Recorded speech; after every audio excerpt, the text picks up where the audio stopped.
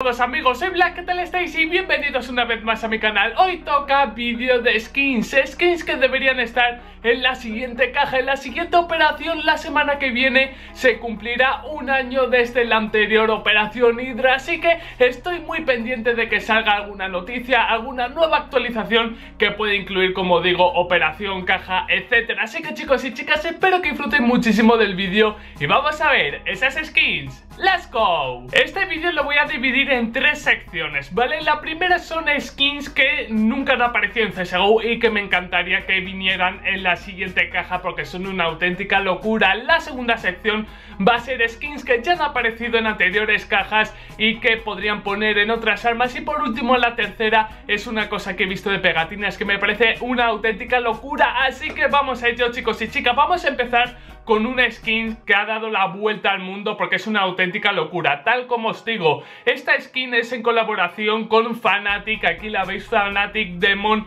es este AK que es una auténtica locura. Eh, de hecho, hay eh, una sudadera con esta skin, ha creado, vamos, eh, una fanbase cojonuda y es una skin que es preciosa. Ahora mismo estaréis viendo todas las imágenes en pantalla en grande, imágenes in-game y como digo, ojalá aparezca esta skin dentro del juego. Mucha gente se estará preguntando lo siguiente, Black, Tú dijiste hace tiempo que es imposible, ya que te lo dijo un creador de skins, que aparezca una skin que tenga vinculación con un equipo, así que por lo tanto no debería aparecer en la caja, ¿correcto? Sí y no, porque como veis chicos y chicas, aquí en esta skin no aparece nada reflejado del equipo, es una colaboración sí, pero no aparece el logotipo, el logotipo, como digo, de Fnatic dentro del arma. De hecho, ahora mismo estaréis viendo en pantalla una skin que está dentro del juego, que es la Atomic Alloy. Es una skin que tiene bastante tiempo y fue una colaboración con Faceit, que como sabéis es una página de servidores externos para jugar Counter-Strike.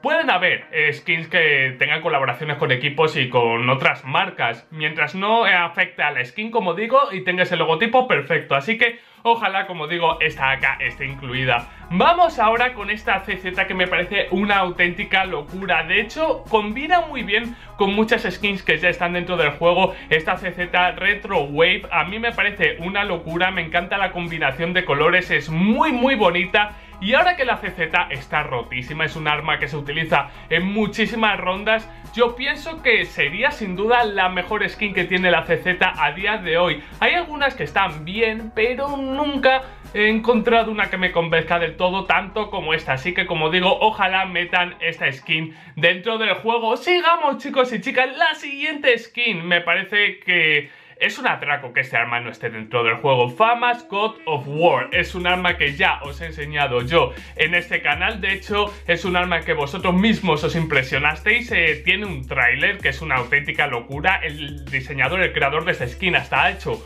un vídeo y como digo, para mí sin lugar a dudas también merecería estar por el nivel de detalle, por lo bonita que es, por todo. La fama no es un arma que se use tanto, ¿no? Pero como sabéis en las cajas van alternando el, eh, cada arma y la Famas tampoco tiene alguna... O sea, sí tiene skins que están bonitas, pero es que no sé, esta tiene tanto detalle que me encantaría verla. Así que ojalá, como digo, la veamos dentro del juego. Sigamos, chicos y chicas. Ahora toca el turno de las AVP. Como sabéis, yo soy AVP y me encantan eh, las skins que tiene este arma, pero Ultra Jade, un... Eh, vamos a ver, lo primero la combinación de colores es muy muy acertada lo segundo, ese aspecto mecha también me gusta muchísimo. De hecho, os enseñé hace no mucho una, un arma que se llama Dragon Mecha. Yo dudo que metan ese arma por el hecho de que se parece mucho a la Dragon Lore.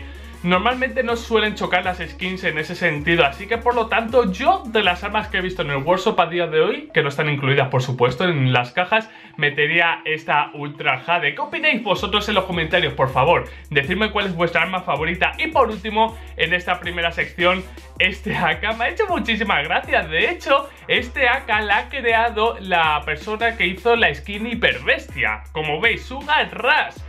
Es que combina chocolate, combina creo que donuts, galleta, tiene todo. O sea, para la gente como yo que no se encanta el chocolate, no sé, a mí me haría muchísima gracia tener este arma in game. Yo creo que es bastante llamativa. Así que chicos y chicas, eh, bueno, decidme como digo cuál es vuestra arma favorita. Aquí acaba la primera sección, ahora vamos con la segunda. Y ahora toca el turno a skins que han aparecido en anteriores cajas y que me encantaría ver en otras armas. Empezamos chicos y chicas, ¿por qué no? Con la hiperbestia, es una skin que encanta y bueno, pues está en la M41S, está en el AVP, el AK. Toca el AK, chicos y chicas.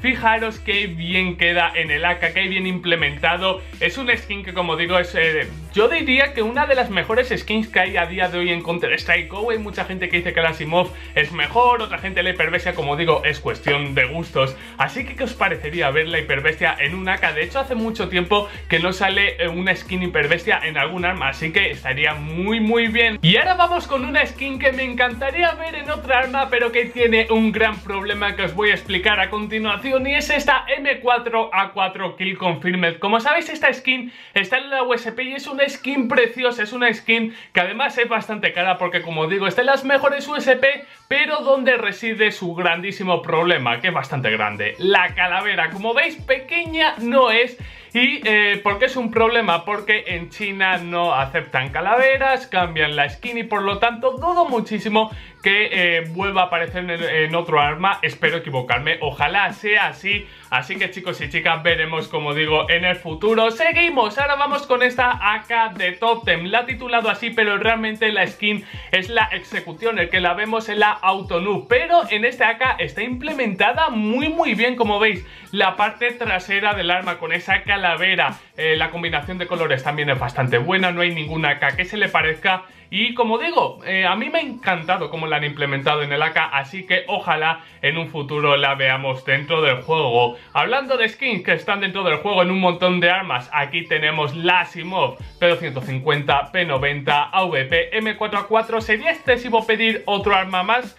En este caso, en la M4A1 queda bastante bien, es que la Simov es una de las skins más emblemáticas del juego, pero como digo, tengo miedo que al al haber tan, o sea, al tener tantas armas de esta skin sea un problema, la gente se aburra de ella. Pero no sé, me encantaría también eh, la posibilidad de que haya una Black Simoth dentro de la M4A1S, de que la parte frontal, como digo, la del silenciador y la parte que le sigue sea totalmente negra. No sé, a lo mejor se volvería bastante popular dentro de los coleccionistas de skins. Bueno, decidme vuestra opinión en los comentarios, como digo, ¿veis excesivas las armas que hay en la Simoth o no?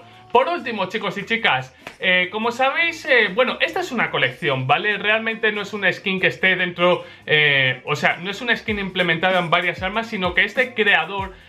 como veis, por ejemplo, tiene esta colección, ¿vale? Que se llama Tarot. Está la AK de Empress y también tenemos esta AVP que siempre se me olvida el nombre, como está, AVP Death, supongo que es el nombre, efectivamente. Y tiene un par de colecciones que son bastante interesantes. Esta es la serie 1, la P90, la Deagle, las Veretas, las podríamos ver dentro del juego sin lugar a dudas. Pero a mí me llama mucho más la serie número 2. La M4A4 es preciosa, la estáis viendo a continuación, esta M4 de Emperor. Tenemos la Emperatriz, y yo creo, chicos y chicas, que van a meter esta... O sea, tengo un palpito, no sé si lo notáis vosotros. Tenemos la Emperatriz, falta el Emperador, evidentemente. Es una M4 que está bastante bonita. Dudo, no se ve una similitud con la Poseidón y ese es el miedo que puedo llegar a tener. Pero es eh, una, como digo, a este creador le han aceptado skins que tienen el color dorado, que eso es rarísimo dentro de Valve, es rarísimo. Hay muy pocas skins con el color dorado. Pero este creador a lo mejor tiene el toque de Valve, ¿no? Dice, bueno, a ti te dejamos. Pero como veis también hay otras skins como esta Mac de Star y por último la USP Hanged Man que también está bastante, bastante bien. Pues aquí han acabado las skins que han estado en anteriores cajas y ahora vamos a por el último apartado que va a ser bastante interesante. Y aquí tenemos el último apartado, como digo, y esta sería una innovación que me gustaría bastante, porque chicos y chicas, ya os lo digo, dudo muchísimo que pongan eh, nuevas skins de cuchillos y nuevos guantes. Se me haría bastante raro, aunque por favor, que así sea que metan algo de variante, ¿no? Dentro, como digo, de los cuchillos o que sea algún cuchillo nuevo, skins nuevas, lo que sea, ¿vale? Pero ¿Por qué no podríamos soñar con estas pegatinas? Como estáis viendo ahora mismo, es una pegatina que es el rango, en este caso es el rango global. Tenemos su versión normal, tenemos su versión foil, holográfica, tenemos todo. Pero es que la parte curiosa es la siguiente, y es que cuando se rasca tiene un mensaje oculto, como veis por ejemplo, en el AK pone LOL es que crea combinaciones